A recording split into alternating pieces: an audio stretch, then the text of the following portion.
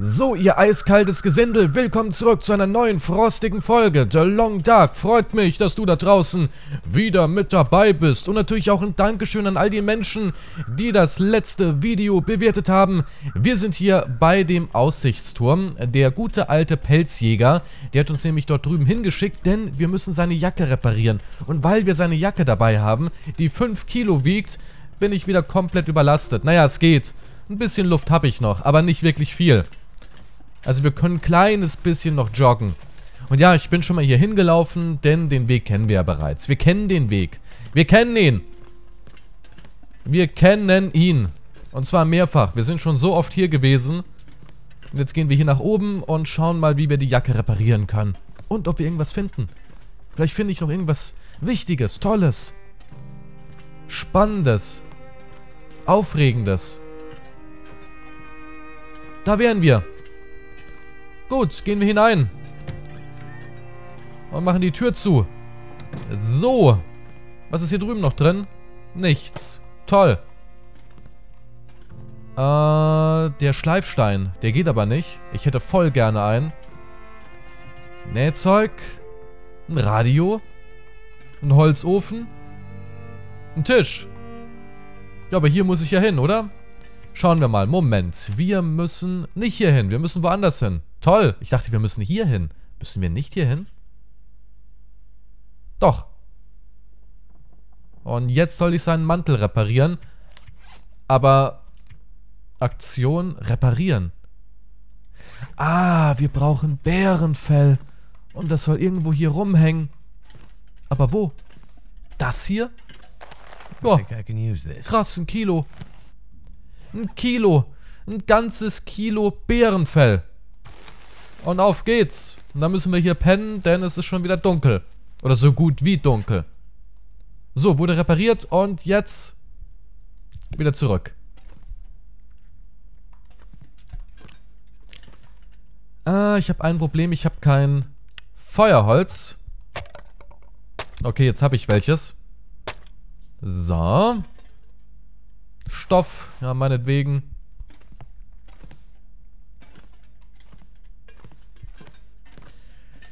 Gut, machen wir Feuer. Ja, gleich bist es ja los. Auf geht's. Hier drin muss es ja funktionieren. Ich meine, hier brauche ich keinen Brandbeschleuniger. Essen haben wir genug. Trinken. Trinken könnte ich noch ein bisschen brauchen. Ah, es dauert immer so lange. So ewig lange. Ja, hopp, alter Mann, hopp.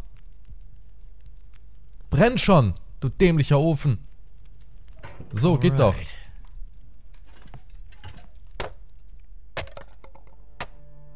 Kaum mache ich ein Feuer, klingelt's an meiner Tür. Also, wo waren wir? Er will seine eigene Pisse trinken. An dem Punkt sind wir also angekommen. Junge, das ist wirklich verdammt heftig. Das ist verdammt heftig. Komm, wir machen erstmal hier schön lecker was zu trinken. Ja, ich sehe es gerade. Wir sind ganz schön am Verdursten. Aber keine Sorge, das kriegen wir alles hin. Entspann dich. Keiner muss hier seine Pisse trinken. Und wir kloppen hier mal das ganze Feuerholz rein. Gut, ich bin immer noch überlastet. Aber wir haben jede Menge Essen. Einmal runter damit. Schön salzig hier ein bisschen Reh. Und dann spülen wir nach. Gut, im Grunde können wir jetzt nur noch zurück. Hier sind wir ja durch. Hier ist noch ein bisschen Nähzeug, nehmen wir mal mit. Wiegt ja nichts. Also pennen wir hier eine Nacht oder gehen wir bei Nacht?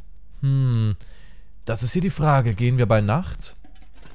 Oder bleiben wir eine Runde hier? Ich glaube, wir bleiben eine Runde hier. Mein Gefühl sagt mir, das ist die bessere Entscheidung.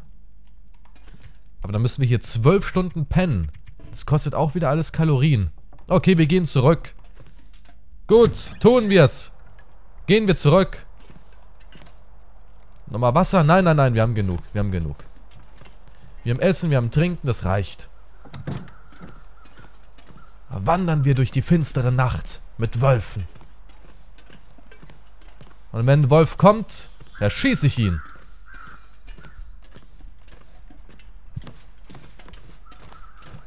Okay, hier durch, ne? Über die Brücke.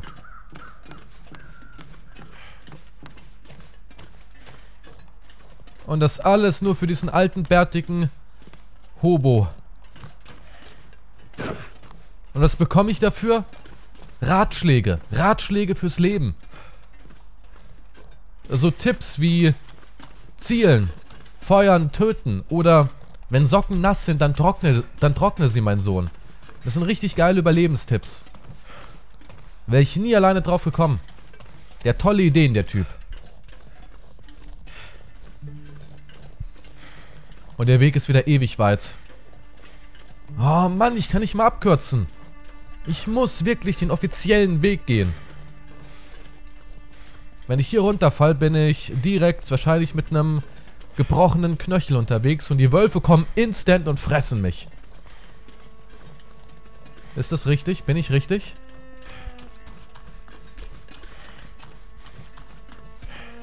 Wir müssen zu den Schienen. Am Ende müssen wir immer zu den Schienen.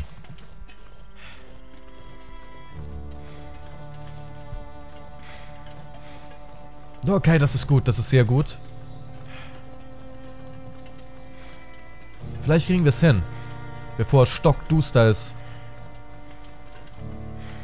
Ja, und damit, meine Damen und Herren, willkommen im Wandersimulator 2017. Hier wird gewandert. Den lieben langen Tag. Extremes Wandern. Aber die Sicht ist gut, oder? Die Sicht ist perfekt.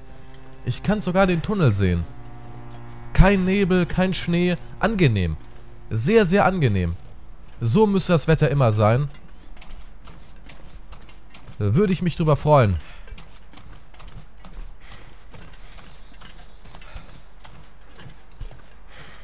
Na, der Weg ist doch gar nicht so weit, oder? Das ist doch easy. Wir müssen irgendwann noch auf den See. Auf den Rätselsee. Da soll es doch ein Messer geben, oder? Moment. Hierhin. Schmied. Ach nee, wir müssen zur Schmiede. Aber oh, die ist ewig weit weg.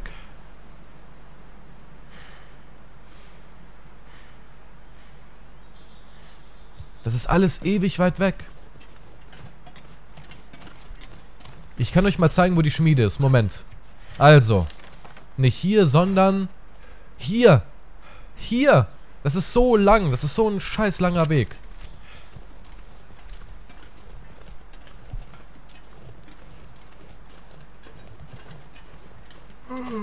Oh nein. Oh nein, na, na, na, na, na, na. Jetzt ja nicht umkippen, ja? Wir haben noch ein ganz schönes Stück. Umkippen ist nicht.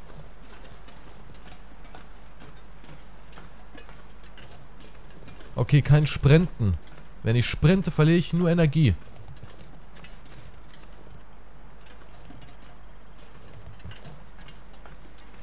Da drüben ist der Rätselsee.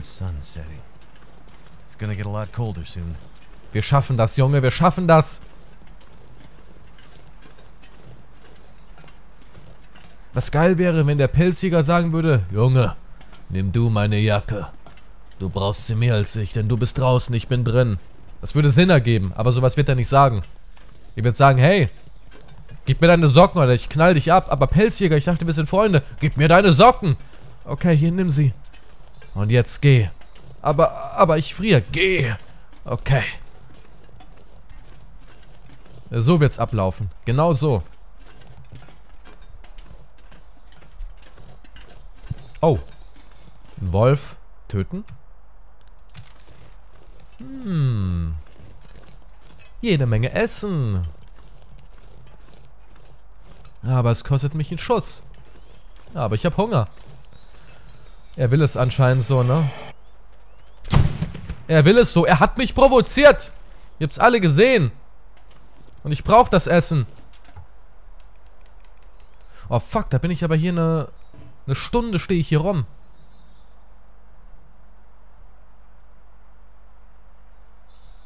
Eine Stunde. Was geht hier? Was... Wo ist der Unterschied? Was ist das jetzt? Vierteln. Ach, Vierteln. Zerhack ich den oder wie? Noch die Haut. Aber das ist so viel Essen. Drauf geschissen. YOLO swaggen. Am Limit. Ich lebe am Limit. Ich lebe immer am Limit. Auch jetzt kommt der Wind oder wie? Push it to the limits. Pew. All this gear is slowing me down. Ah, hier, du kriegst hier noch so einen Ranken. Okay?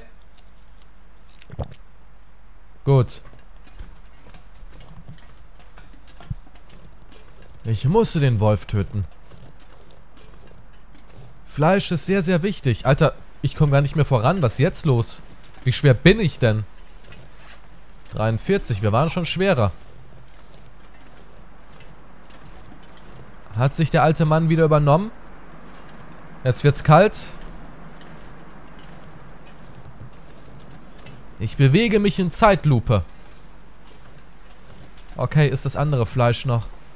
Ja, es bringt aber auch nichts. Da bin ich zwar ein Kilo leichter, aber trotzdem. Ah, versuch's. Nom nom nom nom nom nom nom nom nom nom nom nom.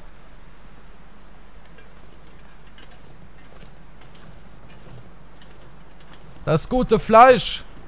Ich kann es nicht zurücklassen.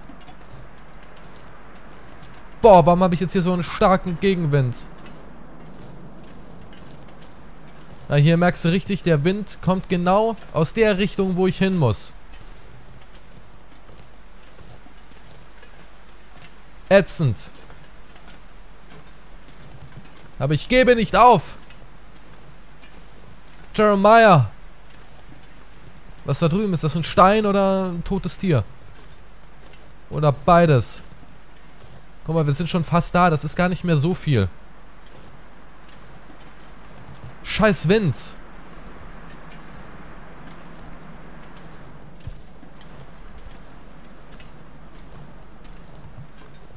Diese dämliche Jacke von diesem dämlichen Pelzjäger. Wer trägt denn schon so eine 5 Kilo Jacke? Wahrscheinlich jetzt 6 Kilo schwer mit dem neuen Bärenpelz. Welcher Wahnsinnige macht sowas?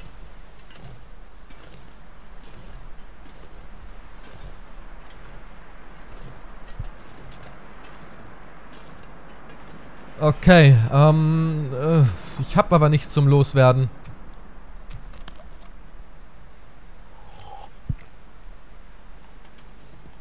Das ist alles zu wenig. Selbst wenn ich die Dosen trinken würde, wäre das zu wenig. Jetzt kommt sogar noch so eine traurige Du stirbst Musik. Du wirst sterben. Erfrieren in der Kälte. Du wirst sterben. Von Wölfen gefressen. Aber ich werde nicht sterben. Oh, da drüben ist irgendein Schatz. Hoffnung. Moment, den kennen wir doch schon, oder? Leer. Toll. Hätte ich keinen Wind, der mir gerade ins Gesicht peitscht, ja, wäre ich viel schneller. Du wirst sterben und dir die Knie brechen und ich werde müde und sehe wenig, weil mein Atem im Weg ist. Ich orientiere mich an den Sternen. Ist das nicht wunderschön? Ist der Himmel nicht wunderschön? So, hier ist das. Boah, komm schon, Wind. Wenn ich jetzt so laufen würde, zack, Rückenwind, bin ich direkt schneller und so bin ich slow. Warum hasst mich die Natur? Und das Wetter. Die Erde. Die Erde hasst mich. Die Erde hasst mich wirklich abgrundtief. Was habe ich der Erde getan? Außer Wölfe und Kaninchen töten und ein paar Mal ins Gebüsch pissen. Ich meine, irgendwann muss der Mann ja mal pissen, oder? Ich... So viel wie der trinkt. Der kloppt sich ja jeden Tag 4 Liter Wasser rein. Also, da muss man ja irgendwo mal strollern gehen.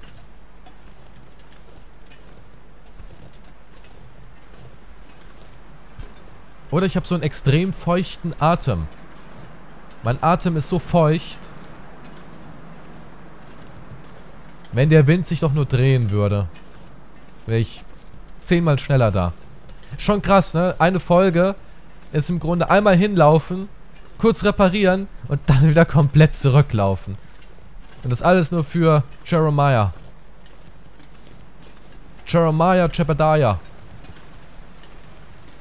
Oh, jetzt auf den Hügel hoch. Mit Wind. Ich leg mich hier hin und schlaf.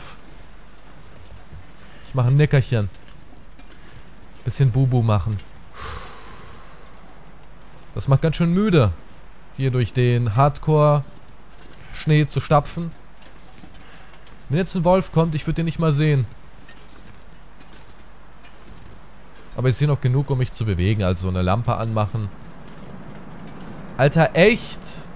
Der Hügel ist ja Mount Everest.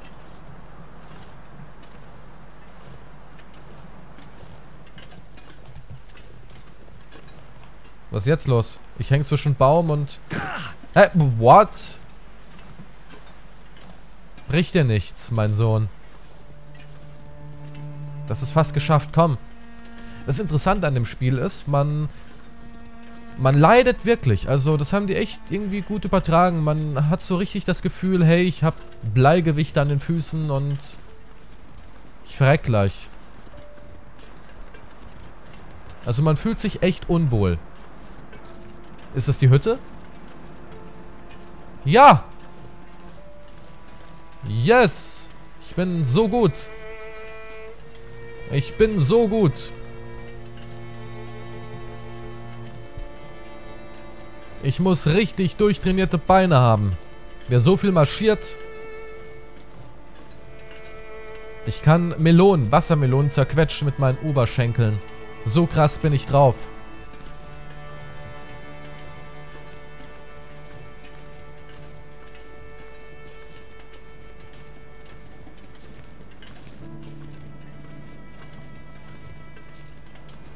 Wunderschön. Die Hütte in der Ferne. Hier gibt es keine Wölfe. Irgendwie allgemein, es gibt auf einmal weniger Wölfe, ne? Davor waren hier so viele Wölfe. Hey, Wind!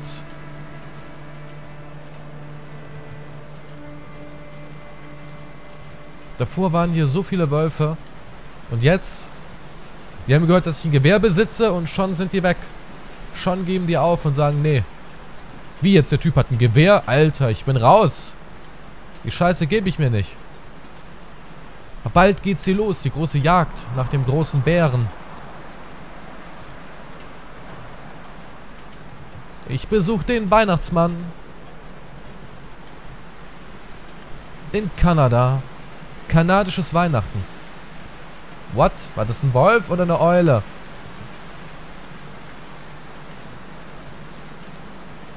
Das sind sogar Gräber. Oder? Ja, Kreuze. Zwei Stück. Wen hat er da getötet? Oder beerdigt vielmehr.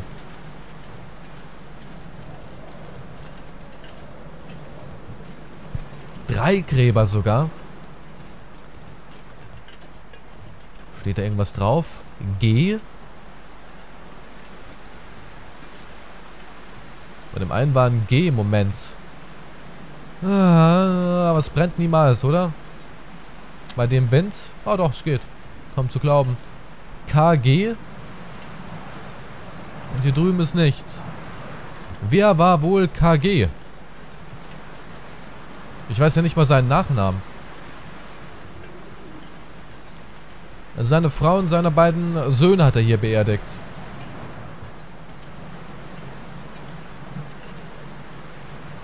Oh Mann, der Hügel hier, der bringt mich noch mal um. Das ist ein Wind. Okay. Hui. Ich bin endlich hier. Spannung. Absolute Superspannung. So, alter Mann, da draußen ist ein Armageddon.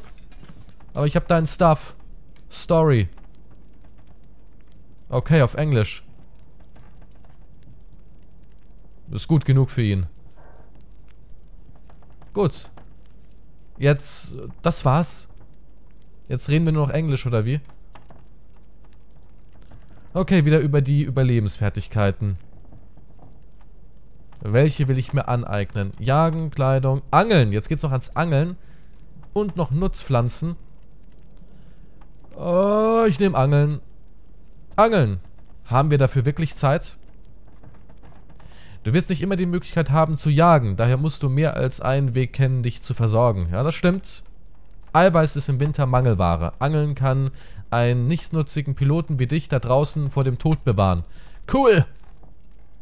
Du bist ein echter Süßholzraspler.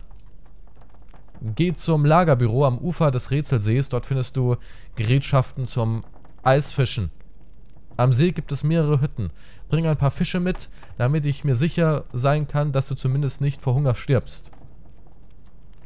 Irgendwie werde ich das Gefühl nicht los, dass ich dir nur genug Essen für den Winter beschaffen soll. Ja, das stimmt. Dein Gefühl trügt dich nicht. Schau mich an, Mackenzie.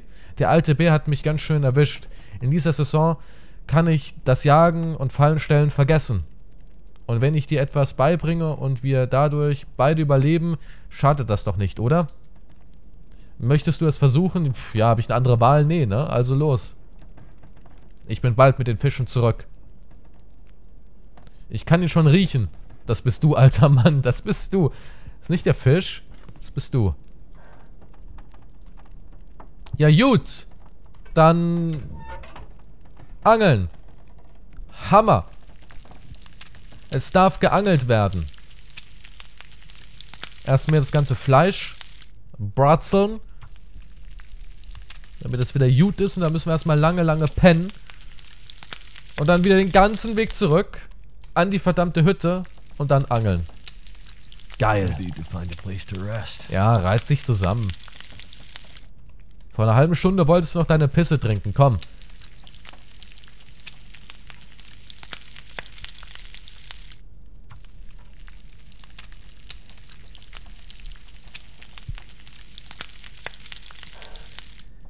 Und wir sind durch. Gott sei Dank. Noch ein Tee?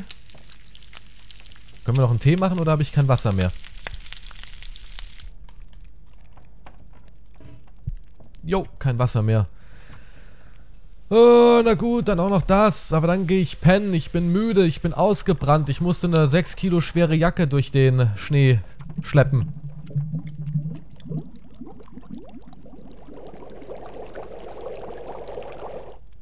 So, jetzt gib mir meinen Tee. Meinen Schlummi-Tee. Damit ich mich endlich in die Federn kloppen kann. Nice. Oh, noch trinken, noch trinken, noch trinken, noch trinken. Und kluck, kluck, kluck, kluck, kluck, kluck, kluck, kluck, kluck. Alter, der Tee kloppt ja gut rein. Krass. Es war echt heftiger Tee. Der gute alte Indianer-Tee. Also, dann gehen wir mal pennen und dann laufen. Laufen, laufen, laufen. Ist hell? Klar, ist hell. Habe ich zu lange gepennt? Ich glaube, ich habe zu lange gepennt. So, können wir sprinten? Jo, können wir. Dann ist doch alles gut. Egal, den Weg schaffe ich noch, oder? Das Wetter ist geil. Kann ich hier runter, ohne mich zu verkrüppeln? Ah, uh.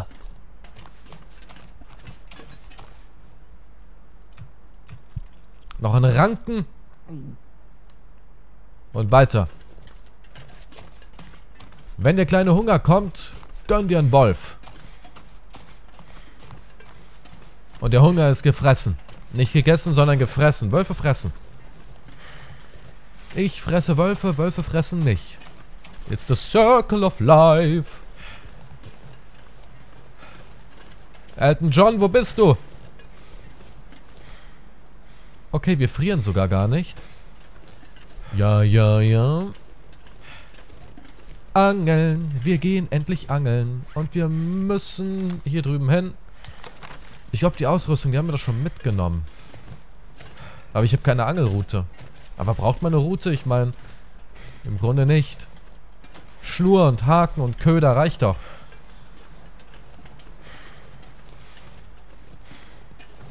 Eisfischen, das ist eine hohe Kunst.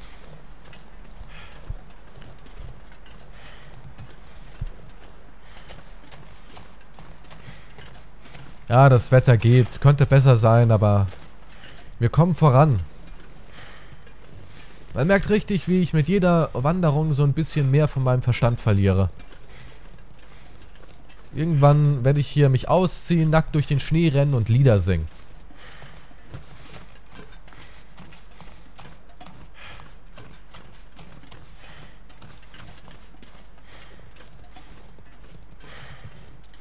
Oh, hier drüben ist auch ein Lagerfeuer, oder? Irgendwann war ich hier mal und habe ein Feuerchen gelegt. Schade, dass man die nicht einfach reaktivieren kann und dass man wieder neues Holz braucht, denn wenn wir uns dieses Feuer mal genauer reinziehen, da liegt Holz. Da liegt Holz. Fünfmal Holz. Fünf Holz. Und trotzdem muss ich neues hacken gehen. Eine Schande. Alright.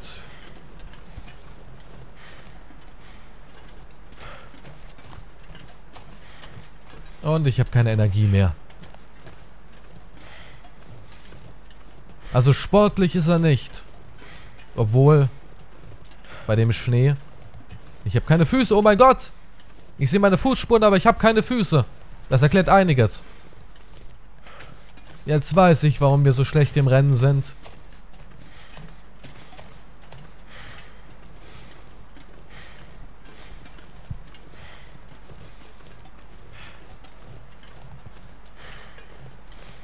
Das meiste Gewicht steckt ja eh in meinen Klamotten.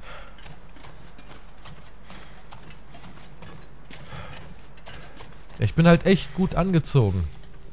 Das ist mein großes Problem.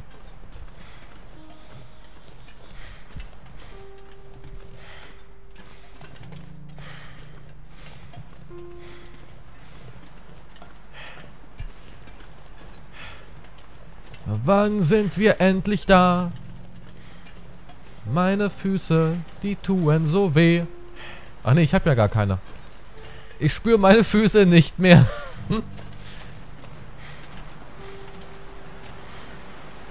Och, jetzt kommt wieder der Wind. Und direkt werde ich hier runtergezogen.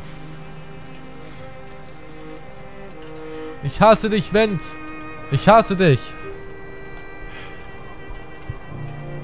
Ich hasse dich so sehr.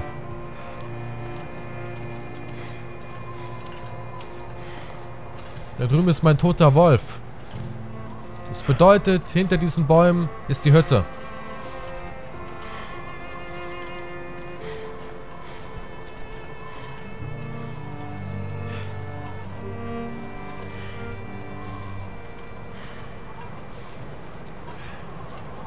Hey Wolf, na wie geht's? War ein toller Schuss. Richtig toller Schuss.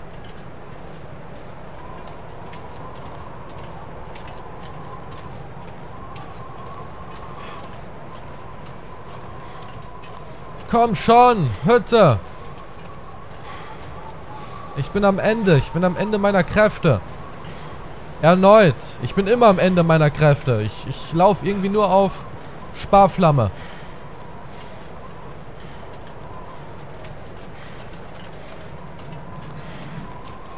Oh, ich hab's geschafft. Und rein mit uns. Gut, ich brauche die Angel. Ich muss nur noch die Angel finden. Können wir irgendwas Neues eigentlich hier... Okay, wir können jetzt den Haken und die Schnur.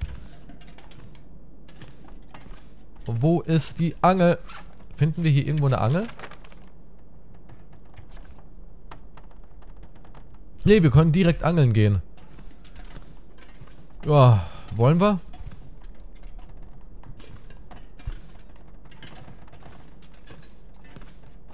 Noch irgendwas Cooles hier drin? Ja gut, dann würde ich sagen, in der nächsten Folge wird geangelt. Ich glaube, wir haben ja alles weggelootet. In der nächsten Folge werden wir 5 Kilogramm Fisch angeln. Das wird super spannend. Ich esse jetzt hier noch einen halben Wolf. Und dann sehen wir uns beim nächsten Mal, wenn geangelt wird. Danke fürs Zusehen. Bewerten nicht vergessen. Bis zum nächsten Mal. Und juice.